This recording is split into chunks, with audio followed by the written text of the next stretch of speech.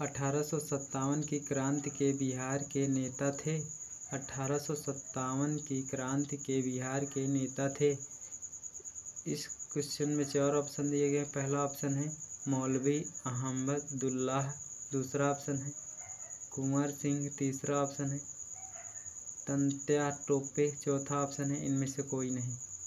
तो इस क्वेश्चन का सही आंसर हो जाएगा बी यानी कि कुंवर सिंह। अठारह सत्तावन की क्रांति के बिहार के नेता थे कुंवर सिंह। तो बस इस वीडियो में इतना ही। नेक्स्ट वीडियो फिर मिलेंगे। तब तक ले जाए Hind. Thank you for watching video